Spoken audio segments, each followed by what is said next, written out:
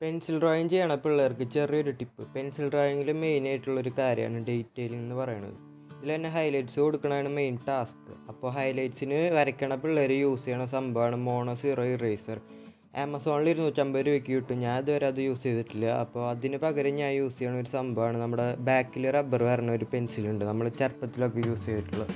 അപ്പോൾ അത് നമുക്ക് അങ്ങനെ തന്നെ യൂസ് ചെയ്യാം. അല്ലെങ്കിൽ അത് നമുക്ക് കട്ട് ചെയ്ത് ഇഷ്ടമുള്ള സൈസാക്കിയിട്ട് യൂസ് ചെയ്യാം.